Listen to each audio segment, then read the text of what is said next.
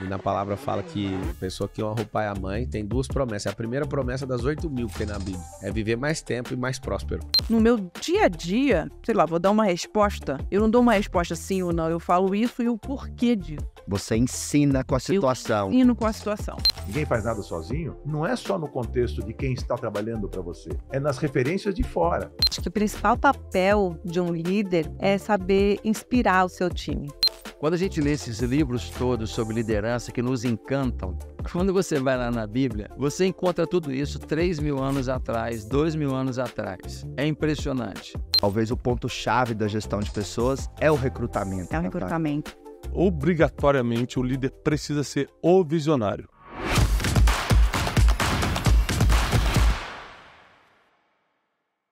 Eu acho que a primeira vez que eu te vi, Pablo, foi no evento do Tony Robbins no Brasil, em 2018, que a gente ajudou a trazer o Tony. E né, é uma Eu época lembrei. que você começou a crescer, e aí eu acho que você foi até, até eu e meu pai, falou, pô, tem o meu movimento e tal. Foi mesmo. Na época você rachava, tava começando a rachar o pau no Vaca Brava lá em Goiânia. É isso mesmo. É, Foi de- mesmo. A gente desse- falou dentro do camarim lá. E nós era feio demais. Era.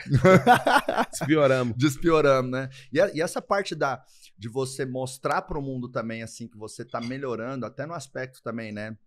Da beleza, do corpo tal. Isso aí, isso aí compõe você ter uma presença de poder, você ter uma atitude de liderança. Isso, isso também agrega valor, né, não, Paulo? É branding, né?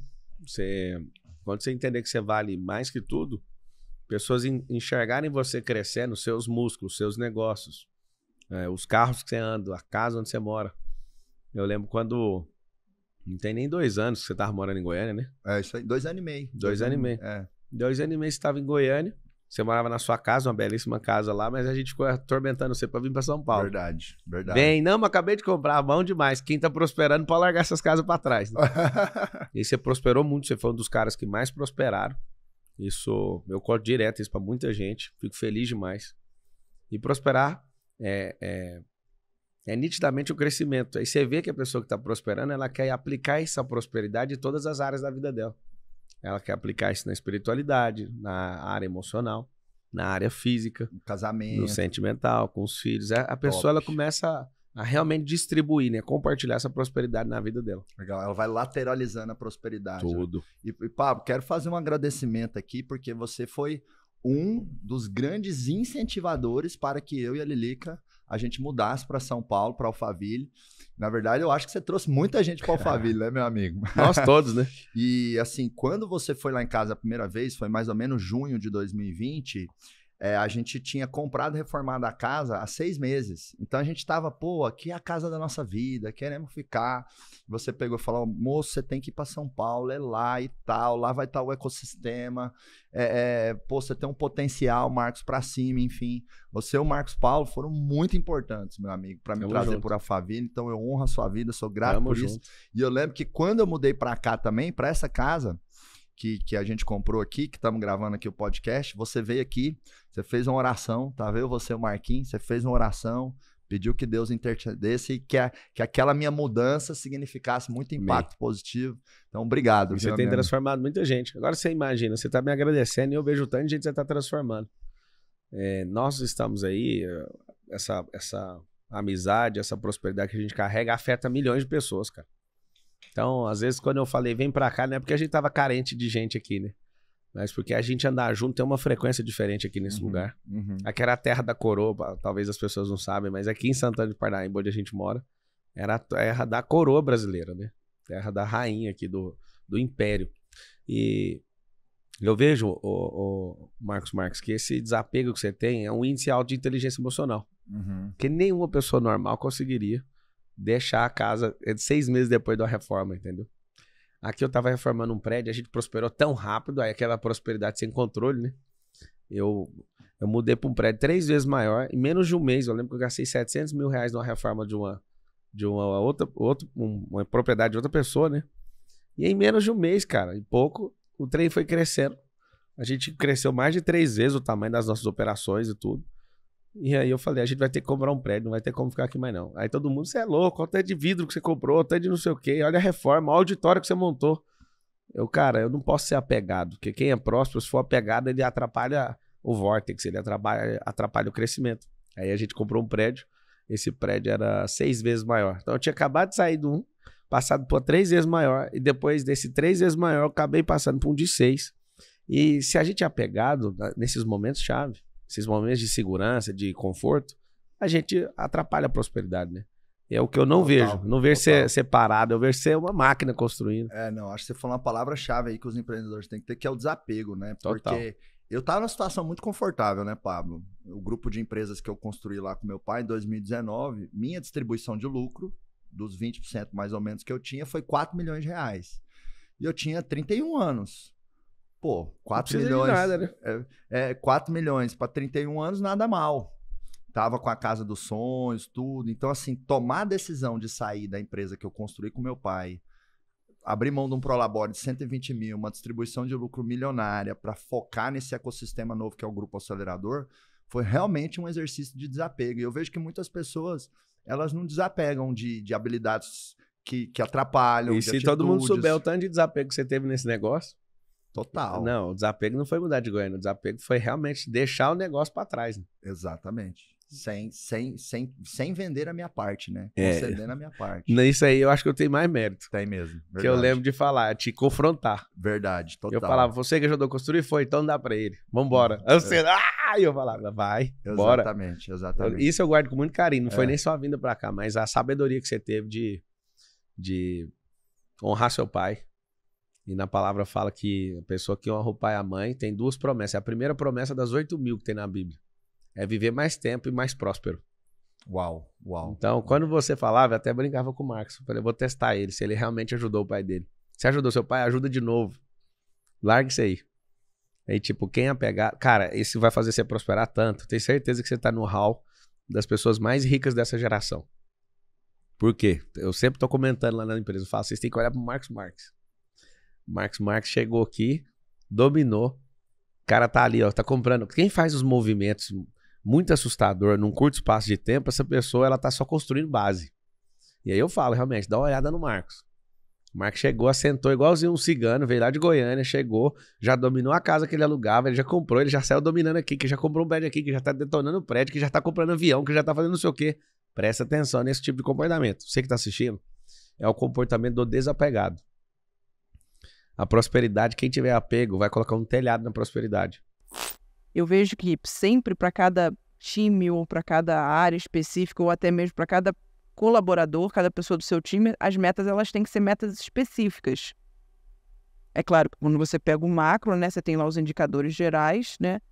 Mas cada área ela se comunica em si. Mas isso envolve muito capacitação. Catequização. É, mas envolve capacitação. Justamente para tirar muitas coisas da sua cabeça, mas para você também trazer outros olhares do mercado, de outras pessoas, para poderem olhar para o teu time e capacitar. Então, é, eu faço isso de maneira recorrente. Ah, quer dizer então que eu tenho uma agenda? É, eu tenho uma agenda mensal de capacitação, mas no meu dia a dia, sei lá, vou dar uma resposta. Eu não dou uma resposta sim ou não, eu falo isso e o porquê disso. Você ensina com a situação. Eu ensino com a situação.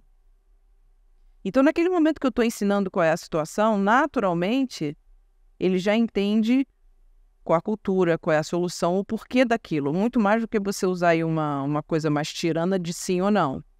Então, a liderança, né? Você às vezes está com um chapéu de um pouco mais pragmático, um pouco mais assertivo, mas também você está, às vezes, com um chapéu um pouco mais de ouvinte. Mas é importante você saber assim, você tem estilos e estilos de liderança, né? Mas isso não é uma coisa arraigada, fixa. Tem momentos, uma vez eu estava fazendo uma. Era um lançamento. Acho que foi o meu primeiro lançamento. De vendas, né? De, do, do, era do DNA lucrativo. E eu estava exatamente, era uma sala desse tamanho, na época a gente tinha alugado uma casa, a gente montou tipo um bunker, né? Uma casa. Então tinha um monte de gente, né? Então tinha o pessoal do Switch, etc. Aqui, né? Devia ter mais 30 pessoas, assim. Acabou a luz. Acabou a luz. E eu ia fazer o pitch de venda. E o pitch de venda não estava pronto. Até me, arre... até me arrepiei, porque assim, foi tanto pepino que a gente passou naquele momento. Situação Engraçado. caótica. Imagina, acabou a luz. E aí eu olhei, a primeira coisa que eu fiz, eu olhei pro pessoal da, da, da, da técnica, todo mundo assim, Todo mundo travado. O que, que a gente mundo trava. Aí começa, pra lá, outro vai pra cá, um vai lá, outro vai pra cá, um vai pra lá. Eu me lembro que na hora que eu fiz? Eu levantei e falei, fulano, você faz isso, isso, isso, você faz isso, você faz isso, você faz isso, você faz isso. Você Naquele interviu. momento ali, eu precisava ser o quê? Eu precisava ser assertiva, eu precisava ser pragmática. Aqui não dá pra ouvir nada. Porque eu tava, eu, todo mundo vai bater cabeça. Então, é importante você saber que em determinados momentos você vai ter que botar um determinado tipo de chapéu de liderança. E que nem sempre você vai agradar todo mundo. Porque o ser humano ele te avalia pela perspectiva daquilo que ele acha que você é. Então, às vezes você, ah, mas olha, caramba, eu tô sendo grosseiro demais, eu tô sendo ofensivo demais. Sim. Se você acredita que sim, tenta evoluir isso, porque às vezes é muito do perfil. Não, eu tô ouvindo demais. Então, eu, por exemplo, eu tive uma liderança que era maravilhosa, maravilhosa, mas não entregava resultado. Era uma mãezona, assim, mas entregava menos resultado. E aí, por um lado, foi bom, porque tinha uma cultura ali de ouvir muito forte, então criou ali um, um, um como é que eu vou dizer, um, um esteio emocional muito bom, Um ambiente gostoso, um ambiente gostoso, mas sem tanta performance. mas sem performance. Que aí não adianta, né, Camila? Você faz o quê? Entende? Uhum. Então, eu acho que o segredo disso tudo é você olhar. Eu falo isso muito pra, pra minha galera, assim. É você, minha diretora de operações, diretora de conteúdo. É você conseguir olhar para a pessoa do seu time, entender minimamente o comportamento, a maneira como pensa, a maneira como age, mas ao mesmo tempo ter uma empatia assertiva. Uma empatia que cresce. Porque senão você tem um desequilíbrio. Porque precisa crescer. Mas você precisa entender minimamente, porque senão a gente fala assim: ah, mas o fulano tem que ser igual a mim. Não, ele não tem que ser igual a você. Ainda bem que ele não é igual a você. Mas é aquilo que a gente disse: a cultura, os objetivos, eles têm que estar ali minimamente alinhados. Esses dias uma, a gente fez um assessment, enfim, de uma colaboradora está comigo uns 6, 7 anos já. E era muito engraçado, porque o meu dava uma coisa, o dela dava o oposto. Tudo oposto.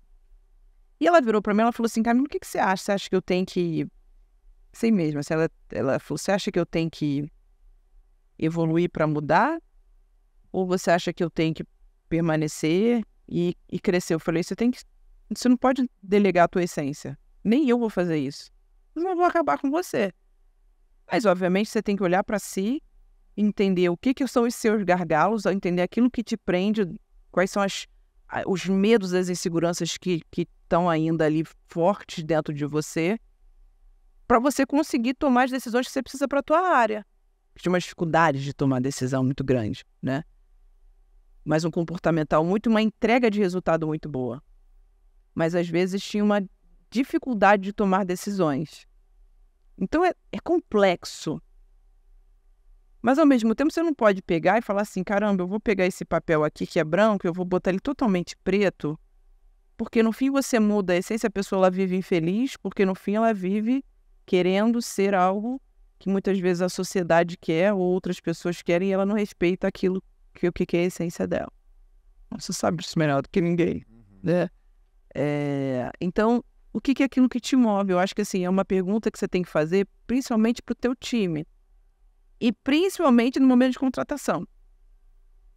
É, eu, eu, eu logo na entrevista eu gosto de perguntar do, do sonho da pessoa.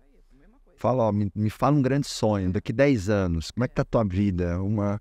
Porque eu acho que é, é, é, é- é uma negligência o líder que não sabe o sonho da pessoa que tá no time junto com ele. É. O segredo para o empresário que está nos ouvindo é o seguinte: é tirar de cada pessoa, inclusive de você mesmo, o melhor que tem a dar para aquele, naquele ambiente, naquela empresa, naquele momento, naqueles problemas, e aí tentar resolvê-los da melhor forma. E não é uma pessoa que tem toda a solução. Entendeu? Então, por isso que eu falei, quando eu, lá atrás, no começo da nossa entrevista, eu estava falando, ninguém faz nada sozinho, não é só no contexto de quem está trabalhando para você, é nas referências de fora. Eu estou sempre olhando. Quando eu perdi uma concorrência de publicidade, eu fazia questão de sentar com o cliente. Mas o que você quer falar com ele? Eu quero entender por que, que eu perdi.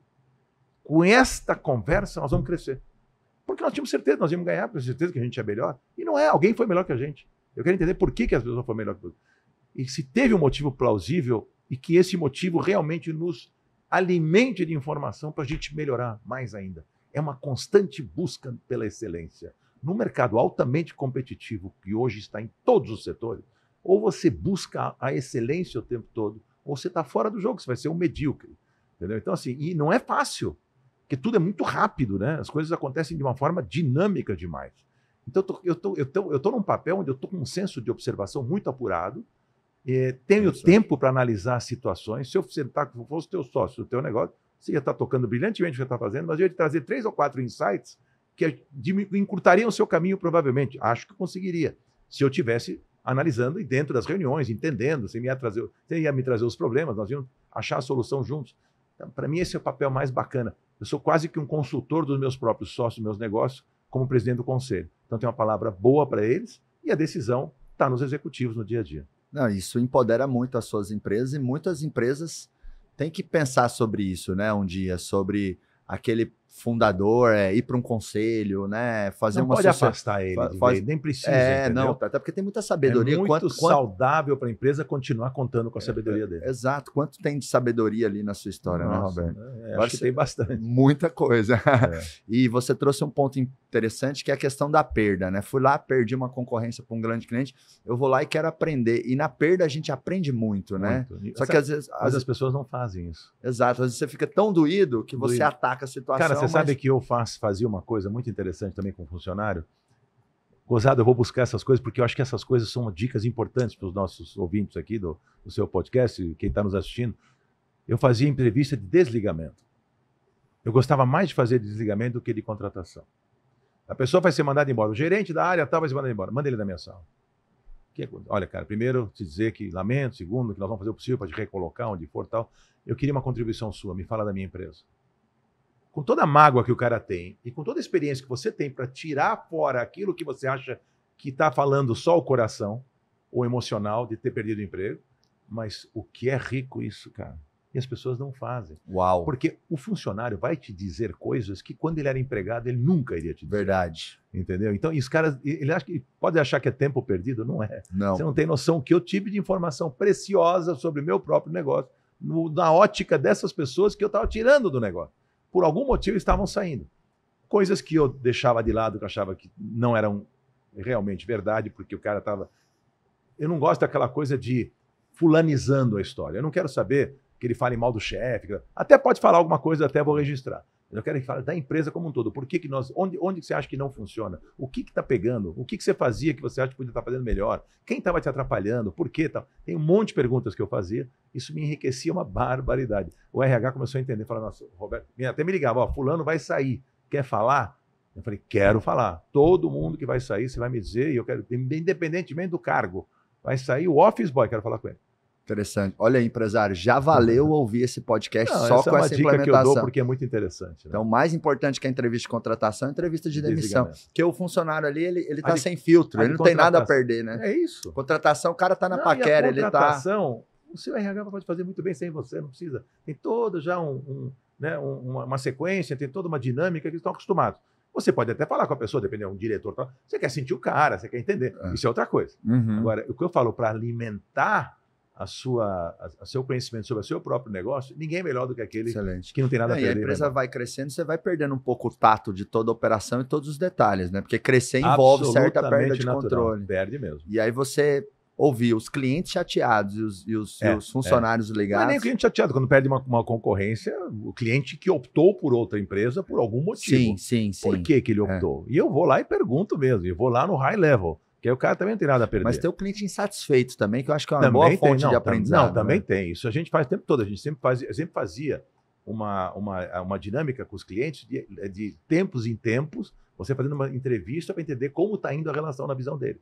Aonde que eu posso melhorar para você? Isso é legal, isso as empresas fazem, isso é natural. Uhum. Entendeu? Agora, quando você perde uma concorrência, eu quero ver quem está indo, quem liga para o cliente para dizer, "Me- eu quero uma reunião agora para você me contar por que, que eu perdi, o que aconteceu. Às vezes ele não quer perder o tempo do cliente, às vezes o cliente também não está disposto a fazer. Não era fácil, mas eu fazia. Sandra, o que você acredita sobre liderança? Esse dia a dia de montar uma equipe, de tocar as pessoas. Fala um pouquinho disso pra gente. A gente não chega em lugar nenhum sozinhos, né? Você sabe disso também, com uma empresa grande já a gente tem que engajar os times para a gente remar todo mundo na mesma direção e chegar no objetivo que a gente tem em comum. Eu acho que o principal papel de um líder é saber inspirar o seu time, né? De ser aquele líder inspirador. Eu não acredito muito naquela gestão por medo. Não sei se é porque eu tive um líder inspirador, mas é nele que eu busco me espelhar para ser essa pessoa que vai engajar pelo amor e não pelo medo, sabe? Tem alguns momentos que sim, o medo é importante, né? É, medo de não fazer acontecer, medo de perder o seu emprego. Isso tem que ter para você querer sempre fazer o seu melhor. Mas eu acredito muito nisso, de que a gente compartilhando os nossos grandes sonhos, a gente só ganha, só soma uma equipe engajada. E eu acho que o principal papel do líder é esse. Legal. Que características você diria que a Sandra tem como líder no dia a dia? O que a sua equipe falaria sobre Sandra Chaio na sua liderança no dia a dia? Chamar a Mari aqui, né? mas, mas projeta, projeta. Eu, eu acho que é isso. Eu, eu busco é, dar autonomia para que as pessoas criem os próprios caminhos para chegar nesse objetivo. O objetivo tem que estar tá claro, comunicação é a chave, a comunicação assertiva, sem rodeios, não é? Quando você precisa dar uma má notícia, você tem que dar uma notícia, não tem que florear, não tem que né, esconder. A gente tem que sim ser transparente, traçar o objetivo, dar autonomia para que a equipe consiga executar. E no seu dia a dia como líder, você tem uma, uma cadência, uma recorrência de reuniões? Por exemplo, ah, eu faço uma reunião mensal com toda todos os líderes estratégicos respondem para mim, eu faço um a um semanal com tal, tal pessoa, fala um pouquinho dessa. Hoje, na Hope, a gente tem uma gestão totalmente profissionalizada. Como governança era um pilar importante para a gente, a gente teve essa preocupação de estruturar muito bem. Então, todas as áreas têm diretores profissionais responsáveis e eu e minhas irmãs, a gente atua em comitês executivos. Então, tem algumas reuniões fixas. Por exemplo, toda segunda-feira tem algumas reuniões de indicadores financeiros e administrativos que são imutáveis, não se mexe, inclusive reunião de acionistas. E eh, a gente tem algumas rotinas assim, né? Com eh, uma quinta-feira, uma sim, uma não, tem reunião de inadimplência, que graças a Deus é muito baixa, mas tem uma rotina, tem um rito que eu acho que é importante ter, porque senão as coisas vão se perdendo. Então, eu acho que é isso. Cada, cada organização vai saber como que qual é a melhor fórmula, né, para si, mas a gente tem na Hope algumas reuniões fixas e algumas outras esporádicas que ajudam a gente a não só dar o norte, mas como também acompanhar, fazer esse follow-up aí para dia. Legal, eu te perguntei isso porque eh, muitos empresários, como eles têm uma característica empreendedora forte, e aí, naturalmente, eles olham mais para a venda, para o pro, pro, pro financeiro, né, por, por desbravar mercado e tudo mais, ele até faz, ah, eu faço uma reunião de indicadores, mas ele faz uma vez e depois não faz mais. E eu, e eu percebo essa hum. importância ali do rito, né, da gestão, de estar tá batendo bom. É ah, quinzenalmente vamos ter um ponto de encontro com tais pessoas para falar disso, né? Você comentou aí de inadimplência. Aqui, por exemplo, toda semana nosso time de marketing e vendas faz uma reunião que a gente chama de Mar Vendas, porque como o nosso modelo de negócio vende com inside sales, né, com equipe de vendas internas, onde a gente gera ali demanda, leads pela internet e a nossa equipe comercial apresenta os nossos programas e vende isso. Então tem, tem que ter uma integração muito forte de marketing e vendas, né? Então a gente tem a reunião semanal de Mar Vendas, que a gente... Legal o nome. é um acompanhamento, né? É, fundamental. É, é exato. Essa, essa, esse rito, né? Permite ali um follow, né? Um acompanhamento. Isso a gente instrui os nossos franqueados também né? Uhum. Porque uma franquia é uma empresa também. Então tem to todas essas rotinas de acompanhamento e, enfim, de norte e tal, eles precisam ter também. Então a gente tem um treinamento, a gente chama de modifica franchising, né? Que é um sistema uh, baseado no sistema Lean, sabe, de uhum. produtividade. Uhum.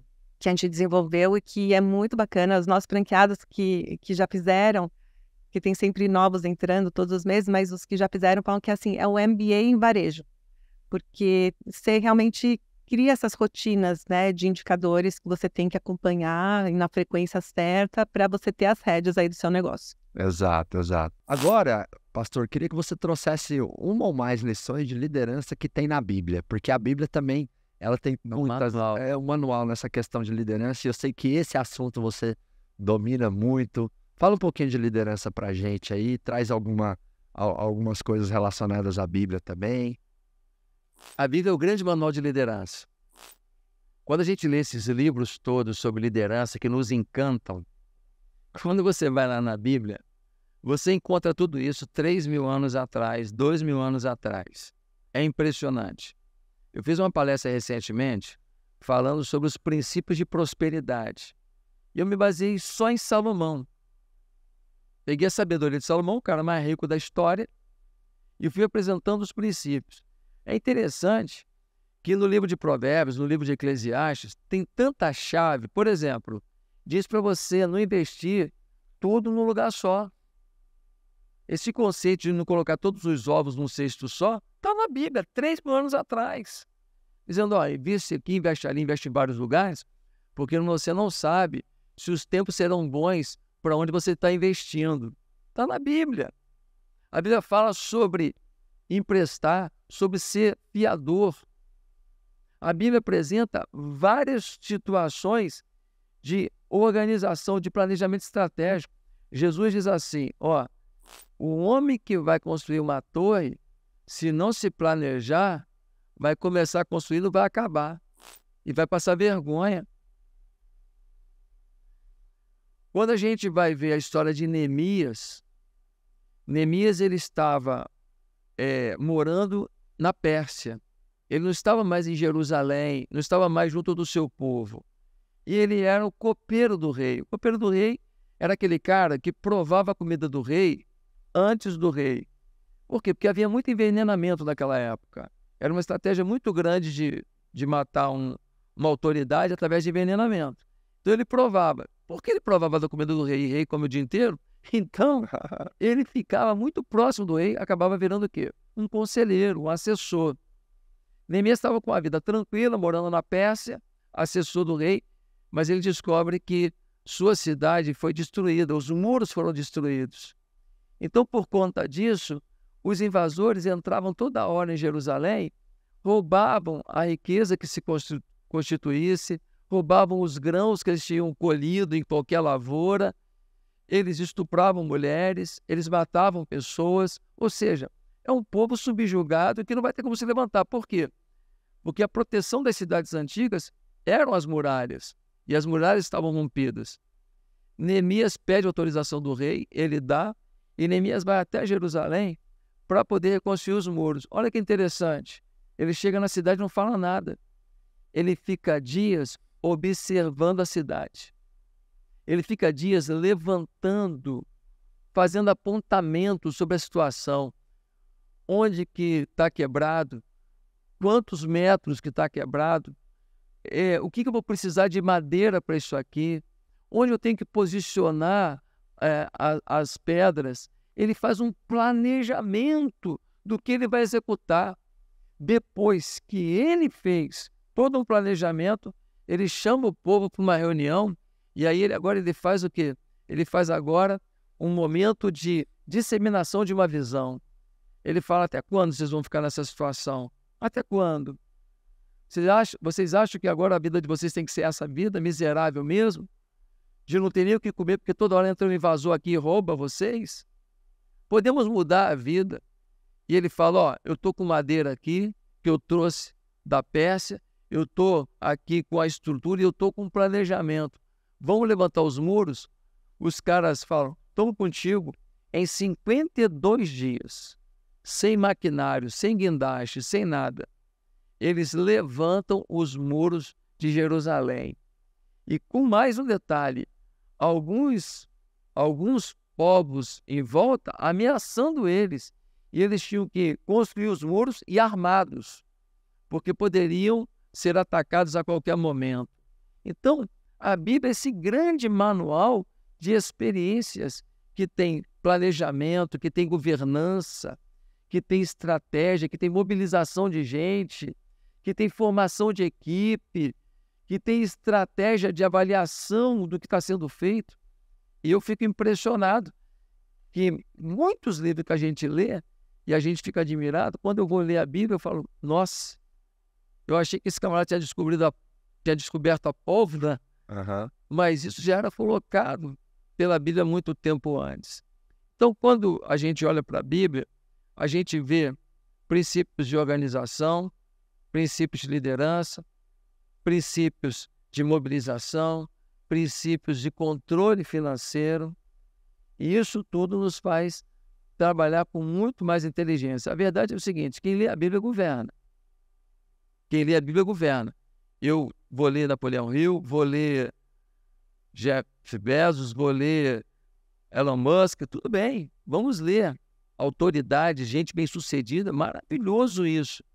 Mas não podemos esquecer dos princípios milenares de Deus apresentados na Bíblia. Então, eu hoje, quando eu estou liderando, é, e a minha liderança ela envolve muitas coisas, porque nós temos a igreja sede.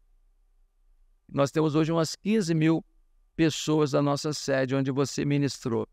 Né? Nós temos mais 41 igrejas. Estamos abrindo esse ano mais 20, então estamos chegando aí a mais 60 igrejas ainda esse ano. Nós temos um canal de televisão. Nós temos um, uma creche para 250 crianças. Nós temos uma comunidade terapêutica para 120 homens.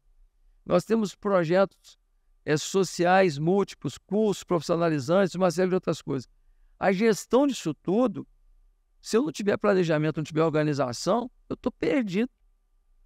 Um dia desse, eu peguei um grupo de um mastermind que eu estou liderando e eu levei para ver os bastidores da igreja. Quando eles entraram na sala de comunicação, que eles viram aquela sala que parecia a sala do Google, cheio de computador, tudo black, tal, os caras lá produzindo, eles ficaram, que é isso? Depois levei eles na sala de engenharia. Eles viram aquele bando de mesa, prancheta, aquele negócio todo, setor disso, setor daquilo. Então, eles, os quadros, os gráficos, tudo na sala. Eles, meu Deus, levei eles no setor de compras, aquele bando de gente, levei eles no setor comercial. Nós um setor comercial na igreja. A gente faz muito evento e precisa de patrocínios. Levei eles no Instituto Assistencial da Igreja, que é o braço social da igreja. É uma coisa à parte, é um CNPJ à parte, para que possa fazer parcerias público-privadas que a igreja não poderia. Enfim, no, na área financeira. Os caras olharam aquele bando de computador, bando de gente trabalhando, gente no contas a pagar, contas a receber, reconciliação bancária, planejamento orçamentário ali. Falaram, pastor, nunca imaginei isso. Eu falei, cara, a igreja não pode perder para a empresa.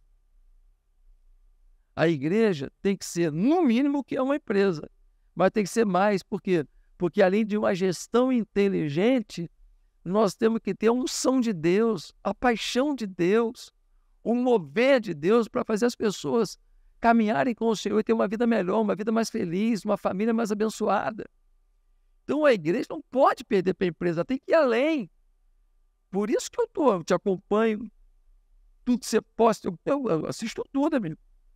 Eu estou aprendendo o tempo inteiro. Ah, você não pensa acelerador empresarial? Ah, e tu acha que eu aprendi tudo uma vez só? Eu tenho que continuar procurando gente que inspira, gente que ensina. Por quê? Tem uma, uma metáfora que eu faço que é muito interessante. O vinho é um símbolo na Bíblia do mover de Deus. Deus fala, Jesus fala que não pode colocar vinho novo em odre velho. Então, o vinho significa o poder do Espírito Santo, o poder de Deus. Então, se eu tenho aqui o vinho novo, a presença do Espírito Santo, isso é maravilhoso, é a unção de Deus. Porém, Marcos, eu preciso ter um cálice. O cálice é a estrutura. O cálice é a gestão. Porque sem a estrutura, como é que o BBC vem? Ele vai escorrer. Se tiver vazado aqui, se tiver rachado aqui, vai escorrer, vai sujar tudo aqui. Eu só não, não vou beber e ainda vou sujar as coisas. Então, a unção Deus dá para quem tem gestão. Eu coloco que no nosso cérebro nós temos duas caixas: a da felicidade, que é tudo de bom, e a da tristeza, da infelicidade, que é tudo de ruim. Uhum. Como que a gente alimenta da infelicidade, por exemplo? Filmes com muita violência. De verdade. Sangue, matação, é, notícia ruim. Pessoas que te trazem coisas ruins, ações ruins, mentira, julgar os outros. Tudo isso vai alimentando filmes e Reclamação. e isso, e pessoas negativas que só veem problema em tudo, que não tem um pensamento construtivo. Uhum. Do tipo, cara, legal, vamos fazer, tá? Qual o próximo passo? O problema das ideias é que as pessoas têm as ideias e não pensam no próximo passo imediatamente. Uhum. Ah, depois eu vejo o próximo passo dessa ideia. Não. Então ela não vai pra frente. Tem que dar o primeiro passo rápido, né? Sim. Natália? Logo. Legal. Muito bacana o ca- a- as caixinhas. aí. Sim, é porque a gente Eu- vai alimentando, né? Eu vejo assim, né? Isso de formar, porque para mim toda empresa, mesmo que seja um posto de gasolina, de alguma forma é uma escola. A gente precisa formar pessoas. Então, não importa o teu modelo de negócios, você é uma escola. Você tem que formar colaboradores e gestores e ter pessoas preparadas para poder entregar resultado e construir algo bonito junto com você. A sua empresa é uma escola. Aceita que dói menos e forme mais as pessoas, porque a faculdade, a escola e as famílias no Brasil não preparam as pessoas. Então não adianta reclamar, tem que encarar o desafio. Você é uma escola, ponto final. Forme as pessoas da melhor maneira possível. E nesse trabalho de formar pessoas, eu acho que tem uma corresponsabilidade. A empresa tem que fazer certas coisas, mas a pessoa precisa também ter a vontade, né? É. Eu falo assim, Natália, não adianta eu te dar o fa- a faca e o queijo e você não ter E fome. você não cortar. E não cortar, exatamente. É, é, é é quando eu falo, é, não adianta você comprar um móvel, chegar lá, instrução, ferramenta, e você simplesmente não montar. Então aí é, é o, o, o, o, talvez o ponto-chave da gestão de pessoas é o recrutamento. É o Natália. recrutamento. Porque Entender que você- ninguém chega pronto. ninguém chega pronto. Adoro isso, é. Tem que ter o trabalho de desenvolver. Uhum. E se o líder não está fazendo isso, aí é o papel do dono, do empreendedor intervir. E não simplesmente esperar. A gente espera um pouco, mas tem um limite. Tem um limite. E aí a gente tem que intervir Uhum. até a gente preparar um outro líder. Uhum. Mas não pode deixar sem líder. Aí o, o empreendedor, o gestor, ele tem que assumir a posição para não deixar a equipe órfã. Uhum. Porque fica todo mundo perdido, ninguém sabe para onde vai, a equipe baixa a performance não entrega. Legal. E quem paga a conta é o empreendedor. Então não é melhor assumir? É. E esse, e esse limite não tem que ser longo, né? Essa, Não. essa linha do limite ali rapidinho. Três assim, né? Um mês, quando você percebe que a pessoa está indo para um lugar, mas ela vai perceber e às vezes é melhor para ela continuar depois, beleza. Uhum. Mas se ela mantém, né, não é aquela pessoa que percebe que não é legal, mas ela quer insistir, aí não é uma pessoa tão construtiva Eu, para o eu negócio. também ensino que às vezes essa linha do limite de você tomar uma atitude de desligar alguém ou, ou descer para assumir mais a posição da pessoa e- e não deixar o time órfão, às vezes eu ensino que essa linha do limite também é entre três e cinco conversas sérias, olho no olho. Olho no olho. Porque vamos lá, Natália. No máximo, ninguém tem tempo Eu para te chamei pra te pontuar algo sério. Uma, duas, três, quatro, cinco vezes. E eu não tô vendo nem progresso. Desculpa, eu tô dando murro em ponta de faca. E o líder, ele tem que saber acreditar, mas ele tem que saber desistir das pessoas também. E ele tem que saber o limite, né? Exato. Que às vezes é esses um, três meses. E é o que eu essas três, quatro, cinco. É, e às vezes eu falo, quando tem líder que eu tenho mais liberdade, eu falo, eu vou falar só três vezes. Uhum, uhum. Legal. Agora, Natália, como que você preparou pessoas? Que muitos empreendedores têm uma característica de que eles punham a mão para prestar o serviço. Ho- A Hoje, operação. é, hoje você quase não atende mais, né? Não. Você não vai para cadeira, enfim. Não, pouco, eu vou porque eu amo, Ah, esporadicamente, eu gosto aham. muito. Talvez mas- com amigos, pessoas É, chaves, pessoas que eu gosto de atender, assim. Aham, Então eu não atendo mais cliente final. aham. Tem uma lista de espera gigante. Mas eu atendo pessoas, ah, eu gostei da sua sobrancelha, vamos fazer comigo? Ou uma amiga, ou algum contato, olha, a pessoa quer muito fazer com você. Ah, São, é só indicação. Mas eu adoro atender. Mas e, eu- e aí tem muitos empreendedores que têm um restaurante, ou médico, ou dentista, N empreendedores que eles executam o serviço e eles têm uma crença assim, mas ninguém vai saber fazer como eu. sabe? Ninguém, ninguém, ninguém teve, teve a preparação. O cliente quer que eu atenda, se não for eu, o cliente não quer. Foi uma coisa do começo. Como meu. é que você trabalhou isso, né? Então De, inclusive entregar a prestação de serviço sua, que é técnica, Total. para uma equipe. No começo, eu, eu pri- primeiro a- as coisas que eu fiz, né? Comecei a preparar uma equipe. E não é que eu tive, eu parei para treiná-las. Primeiro, é, primeiro elas me acompanharam atendendo muito tempo. Então, por que que as pessoas não vão para frente? Ah, eu não vou ensinar tudo que eu sei. A maioria das pessoas tem medo de ensinar, com medo da pessoa sair, montar um igual ou levar ideia, entendeu? E aí eu deixei as pessoas me acompanharem e elas treinando. E eu acompanhando. Quando elas estavam no nível legal de trabalho, que eu falei, caramba, parece que eu fiz. E aí eu abri a agenda delas com um valor quase 50% mais baixo que o meu. Então, as clientes ligavam, primeiro já tinha um fator valor diferente. Mas, mas por quê? Não, porque a Natália, eh, hoje ela é focada em várias coisas, o tempo dela é diferente. Então, ela treinou uma equipe e ela treinou tão bem que se você não gostar, ela faz o retoque. Uau. Eu dei a garantia para ela, segurança. E aí minha equipe começou a ganhar força. As primeiras pessoas saíram, montaram os negócios próprios. Porque começaram comigo, viram que a empresa estava crescendo e falou: "Poxa, eu não estou indo com ela lá, eu também entende que já quem cresce, começa no negócio, mai- 70, 60% não fica tanto tempo, tanto tempo, depois você cresce muito. Uhum, uhum, Entende? Tem aquele sentimento, de, nossa, ajudei tanto a construir, mas nada tá bom para essa pessoa. uhum, uhum. E eu tive problema com isso, mas ok, não foi a Faz primeira. parte, você vai Faz parte. E nas primeiras eu fiquei me culpando. Nossa, o que, que minha empresa fez de errado? Ai, não sou um bom empresário. Porque a gente acha que o problema, problema é a gente, mas não é. Uhum. Tem que entender que a, a pessoa ia fazer isso. É dela, já estava programando e ela decidiu. E às vezes a empresa também. Não, e às vezes a, a pessoa te ajudou um ciclo de carreira. Então tá, tá tudo bem, faz Exato, parte. gratidão das duas formas. Mas é o que vai acontecer. As pessoas têm medo disso. Boa. E aí eu ensinei muito, começou a crescer, elas com, com valor diferente, a garantia do resultado por mim. E elas começaram a ganhar força, força, fui saindo. Cursos também, eu tenho professores hoje que formam meus alunos, então eu não vou em todos os cursos. Raramente quando eu tô lá eu desço para ver uma turma e aí aquele, aquela loucura. Mas isso foi muito legal. Foi uma coragem muito grande, porque eu, eu abri mão da qualidade que eu tenho certeza que eu entrego, porque o negócio é meu e eu dependo 100% dele. E, e aí eu abri mão dessa garantia, dessa segurança, e eu dei um passo para trás, sabe? Para tudo ali. E aí hoje, agora, tudo Legal. diferente. Mas a equipe só cresce se você passa o seu bastão. Uau. Se você tem sucessores em todos os cargos que você passa. Empreendedores estão nos ouvindo, nos assistindo, se inspirem aí na Natália, porque dá para ter uma equipe tão boa quanto você Com e, certeza. e ter estratégias de ir desmamando o cliente de você, né? Que é, é muita questão da crença. Ah, o cliente tem que ser comigo. E aí, quanto maior fica a sua marca, você derrama a autoridade da marca para sua equipe. Mas elas têm que, que manter. Exato. E aí você tem que ter um time preparado, né? Passar pela dor de formar as pessoas, saber que alguns vão sair, vão virar seus concorrentes e não tem problema, faz parte, né? Porque para você prosperar, outras pessoas vão ter que prosperar também. Exato. Então, o ponto é esse, né? Hoje, por exemplo, nós temos vários programas que não sou eu que entrego. Várias imersões que são os meus mentores, né? As empresas que entram no Giant. Hoje a gente tem um time de 15 mentores e consultores que vão nas empresas, que fazem um a um com os empresários. E os empresários sabem que não é comigo isso. Até porque não, não seria ganha-ganha. É, Sim. é, é- é igual um cliente.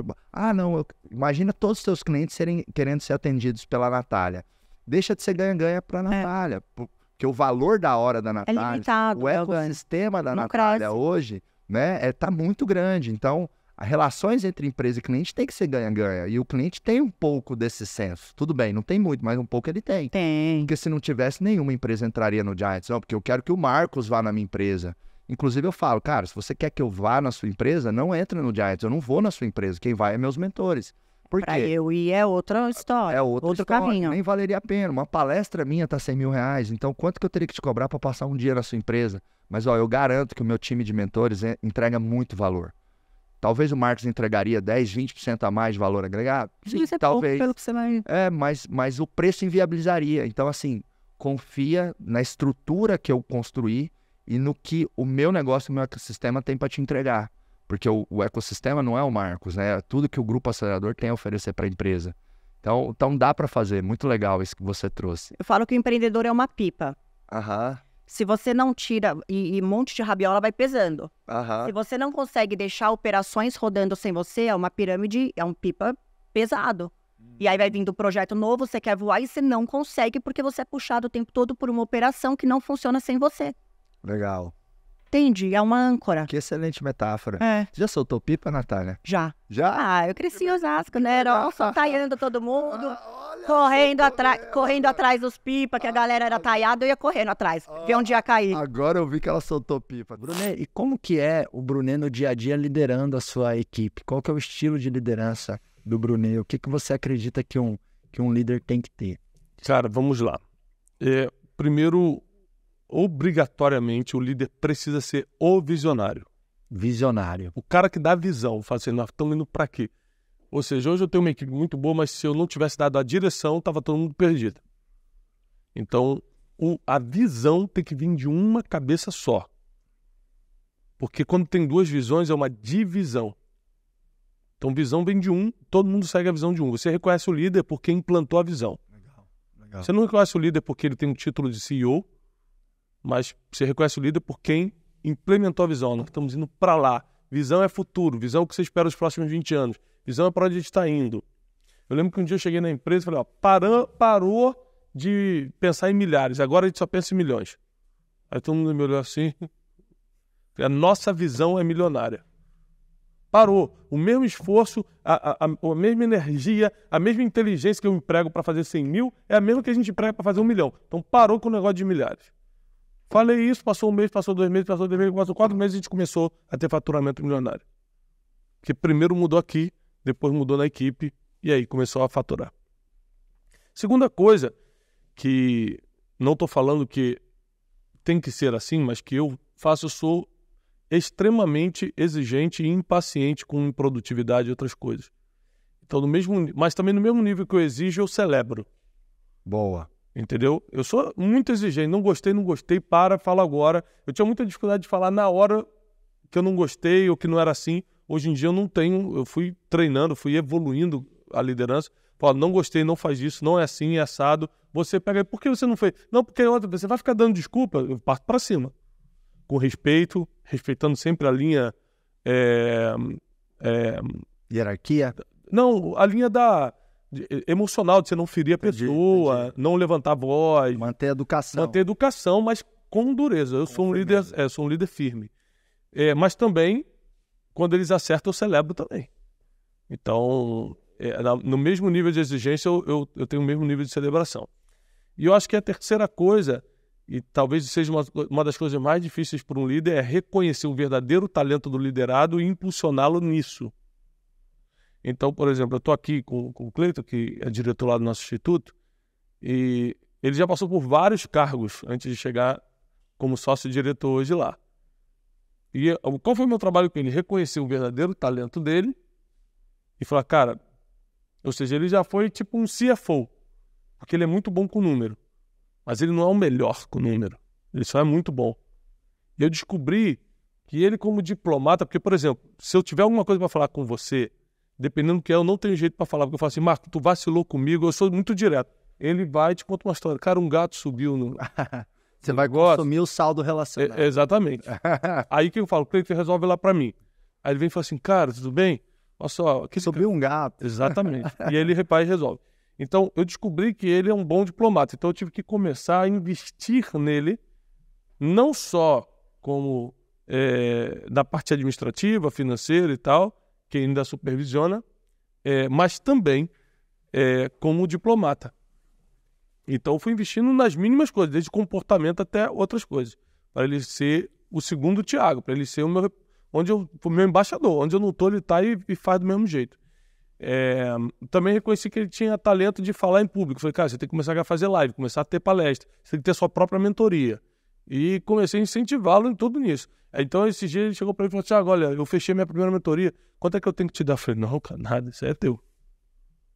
Você já dá a sua força, a sua energia e sua fidelidade para mim, já é suficiente. É, você, você faz uma característica importante, que é estimular o outro, Uhum. né? Estimular.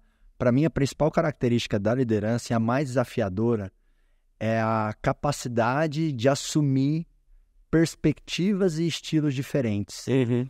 Porque é o que você falou, num certo momento você precisa se posicionar, ser firme, em outros momentos você tem que celebrar.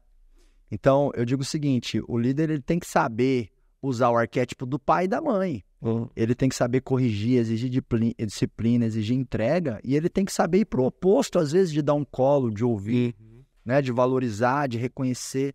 E essa transição de chip, né, Não é fácil. não é fácil, é desafiadora. Por quê? Porque geralmente as pessoas têm um estilo. Uhum. Eu, por natureza, Brunet, eu sou mais firme, mais duro, mais exigente. é, mais executor, mais pragmático, mais orientado à tarefa, número, resultado, vamos. Só que eu conscientemente faço um esforço de trazer esse meu lado mais emocional, mais carinhoso, né? mais, mais íntimo, mais humano. Então, esse, esse infinito de transição entre ser pai e mãe, entre ser leve e firme, entre ser focado em resultado e focado em pessoas, para mim é a grande, é o grande desafio da liderança, né? Essa flexibilidade comportamental. E para mim, assim, o requisito fundamental para essa flexibilidade é o autodomínio, a autogestão, a autoliderança. A grandeza da liderança nasce na grandeza uhum. de si mesmo, né? Não existe li liderança sem autoliderança. Porque aí você percebe como você funciona, que nem hoje tem pessoas do meu time que sabem que eu sou mais impetuoso. Então essas pessoas, elas, elas é, além de eu declarar para elas, olha, me ajudem, né? Então, ou seja, eu, eu permitir elas me ajudarem, elas, elas, elas às, vezes, às vezes percebem o um momento ali que eu estou um pouco além e elas me dão uma cutucada ou, ou, ou, ou, me falam alguma coisa ali no WhatsApp, me ajudando a corrigir a minha rota. Uhum. Agora, se eu não faço um exercício de autoconhecimento, eu fico aleatório, fico intuitivo, eu fico no piloto automático, fazendo do jeito que eu acho, do jeito que eu quero. Então, o Marcos, sem os anos de lapidação dele, de desenvolvimento, coach, mentoria, um monte de outras metodologias, eu passava na recepção da empresa, Bruno, eu não olhava na cara das pessoas, não. E qual que é a justificativa que eu dava para mim? Porque muitas vezes a gente, né, usa as nossas é, justificativas para endossar os nossos comportamentos ruins. Uhum. E às vezes são muito sedutoras essas justificativas, porque essas justificativas são baseadas em mérito. Meu exemplo, ué, a empresa está crescendo, eu estou fazendo certo. Então as pessoas têm que entender que eu estou dando um duro danado, que eu sou focado em resultado, que se a empresa cresce, todo mundo cresce. Então não tem que ficar de mimimi porque eu esqueci de dar bom dia, porque eu fui um pouco mais duro, porque eu não, não olhei e chamei pelo nome. Que frescura, que mimize, mi, povo mimizento, né? Então, ó, e, pô, faz muito sentido, né? Cara, você tá tendo sucesso, tá tudo funcionando, você é reconhecido como um cara de sucesso. É, é, você não tá errando, é as pessoas que são fracas, é as pessoas que são mimizentas. E aí, para fazer o exercício da autoliderança e da autogestão, se permitir para isso, você tem que colocar o chapéu de aprendiz, né? Você tem que se despir do ego. E isso é, isso é desafiador, né? Você que é muito especialista aí nesse fator humano, Brunet, como que eu faço para despir do ego? Como que eu faço para né, colocar mais o chapéu da humildade, ouvir mais o meu time? O empresário às vezes não ouve, Brunet. O funcionário está lá reclamando, está uhum. sofrendo. Tem empresário que acha que o funcionário tem um capacete, aí ele fica com um porrete invisível na mão, dando porrada na cabeça de todo mundo uhum. o tempo todo, entendeu? O cara tá lá no século passado, achando de verdade que aquela frase tem algum sentido, manda quem pode, obedece quem tem juízo, uhum. né? E tem empresário que acha que não acredita aí, nisso, mas a conduta dele, você vai analisar, tá totalmente baseada nisso, uhum. né? Então, berros não energizam os funcionários, não adianta a gente ter uma relação de domínio, de porrada, de pancadaria, né? Como que eu faço para despir do ego, ouvir mais, receber, é, é, é, porque às vezes o empresário acha que feedback é só dar feedback, e para você bem. estimular a cultura de feedback, o hábito de feedback na sua empresa, você precisa aprender a receber feedback. Uhum. E, e, aí eu tenho que me despedir do ego, né? Qual que é a sua reflexão sobre isso? Ó, primeiro, é, só tem um tipo de pessoa na Bíblia, ou seja, na teologia, que é a minha formação acadêmica, que Deus rejeita. Só tem um tipo. A Bíblia diz: Deus rejeita os orgulhosos, mas dá graça aos humildes. Então, até teologicamente falando, você está criando um problema muito sério se você alimenta seu ego, seu orgulho, sua altivez, sua prepotência. Porque é o tipo de pessoa que Deus não consegue, nem Deus consegue lidar, quanto mais os outros seres humanos. É, e, como, e quando você é empresário, ainda mais no mundo que a gente vive de constante mudança, o mundo está louco, de um ano para outro muda tudo. Muda a forma de fazer gestão, forma de, tudo, de tudo. oferecer produto, muda é, os canais de distribuição, muda, muda tudo em um ano. Então, o empresário que é orgulhoso, ao mesmo tempo, ele é burro. Porque um dos, uma das missões de um empresário é descobrir o próximo passo, os canais de distribuição, é, escalar o seu negócio. E isso você só consegue sendo, sendo humilde, por exemplo, sentando numa mesa e aprendendo com outras pessoas, escutando o que está acontecendo, pedindo ajuda. Um dos maiores problemas do ser humano, não só do, do líder ou do empresário, não. Do ser humano é pedir ajuda. O ser humano não consegue pedir ajuda. Quando a maioria dos, dos meus amigos se separaram, quando vieram me dar notícia, já estava separado. Ah, tô há dois anos aguentando um rolo aí. Em dois anos você nunca conversou comigo, cara. Ou seja, o cara tá dois anos passando na situação, podia ter falado, cara, me ajuda, dá um conselho. Pô, eu trabalho com isso, você não me ligou, cara. Aí quando você me liga, já tá feito. Então, o ser humano tem muito problema de pedir ajuda, só que se o líder tivesse orgulhozinho, não, não vou pedir ajuda, ninguém tem que saber da minha vida e tal, ele não vai botar só a vida dele, ele bota todo o negócio, consequentemente a vida de centenas de pessoas, de milhares ou de milhões de pessoas no lixo junto com ele.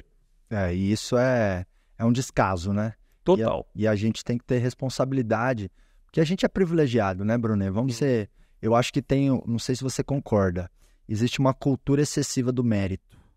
O que, que eu quero dizer com isso? O cara pensa assim, pô, tive sucesso, então o mérito é meu. O mérito não é só Uhum. seu. Você Uhum. teve Deus, teve sorte, você nasceu naquele ano. Por mais que você seja foda, incrível, genial, esforçado, tudo mais, você só construiu o que construiu porque uma série de fatores que estavam fora do seu controle te possibilitaram construir o que você construiu.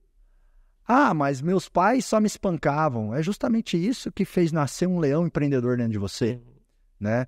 Então, existe o fator que é a bênção divina e fatores que nos ajudam a construir o que a gente construiu. E nós que temos uma empresa, independente se é um exército de um só, ou se é 50 ou mil colaboradores, nós somos privilegiados, nós somos abençoados. E a gente tem que tomar posse dessa responsabilidade e dar o nosso melhor. E dar o nosso melhor não significa não fraquejar. Significa decidir, pelo menos 80, 90% dos dias, entregar o nosso melhor. Vai ter momentos de fraqueza, né? Mas se você sacode a poeira rápido e vai para cima, você está dando o seu melhor. Dar o seu melhor não é ser perfeito, mas é buscar estar numa alta frequência, numa alta vibração, o máximo de dias possíveis, né? É isso.